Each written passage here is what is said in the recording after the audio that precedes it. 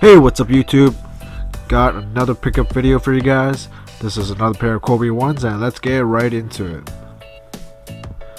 Well, as you can see here, another high quality Kobe 1 added to my collection.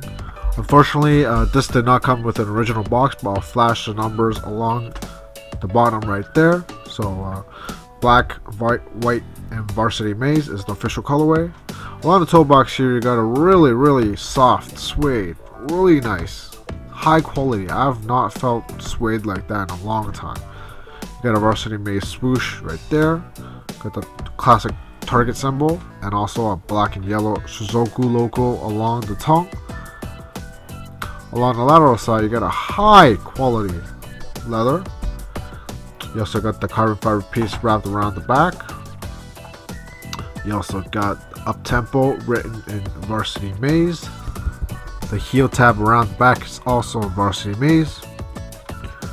You also got carbon fiber support along the medial side as well. Here's the traction. The seller took really good care of these. There's no drag at all. I have not even Jason marked these yet. Not even attempted to clean them yet. And they're really nice. And again, there's a high quality suede along the medial side. Really soft. Really high quality. I cannot stress that enough. There is absolutely like no wear and tear on this shoe at all. Let's take a look at the other one.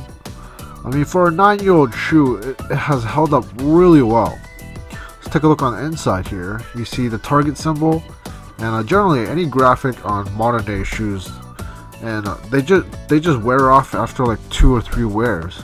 Especially like the Jumpman symbol or the Nike Air symbol. My Kobe 1 count is officially at 3 pairs.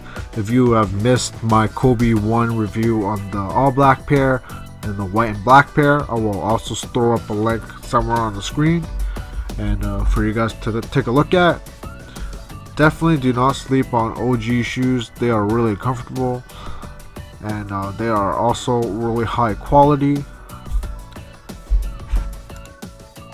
Here's a couple shots of the three pairs. You got the all black, the white and black, or the black and white, and the black and varsity maize. Really, really nice quality. You won't even believe it until you see it in front of your eyes. Here's another quick look. I mean, look at this. There's like no creasing at all. I mean, the seller wore it at least a couple times. Uh, I don't think that's a crease. I think that's just the shape of the, uh, the eyelid uh, popping out. Uh, there's some um, cre midsole creasing along the yellow. That's about it. Nothing else. Again, got a high quality suede around the mid section. Well, let's get you guys some uh, on-feet footage. Here's the on-feet footage. Let me know what you guys think in the comment section down below. Don't forget to check out my previous videos. I got some I got the Hyper Rev reviews, the past Kobe 1 reviews, uh, of course my other videos as well. Also follow me on instagram is kenneth capital t double underscore. And uh, as always thanks for watching and i'll catch you guys later